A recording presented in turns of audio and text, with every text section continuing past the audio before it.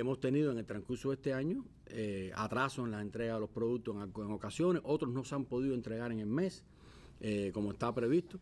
Hay que ratificar que nosotros, eh, en el diseño que hasta ahora tenemos, bueno, lo hemos explicado varias veces que hay que transformarlo eh, prácticamente el 100% de la canasta familiar normada es importado. Hasta el café incluso, que es uno de los que está faltando ahora. Ahora el café, ahora porque no hay producción nacional hasta noviembre de café, ahora en este periodo de tiempo el café de la canasta debía ser importado, no lo hemos podido importar.